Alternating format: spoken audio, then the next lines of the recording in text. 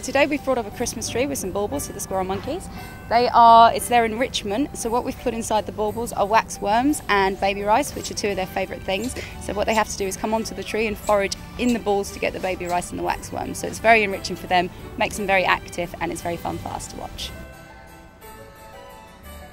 They have a lot of enrichment naturally within this walkthrough. They can walk through and grab insects and stuff, but just to keep them activated, also is great for us because then we can actually health check all of the animals because they all come to the same spot so we can see them because we have 22 of them, so it quite, can be quite difficult to spot all of them sometimes.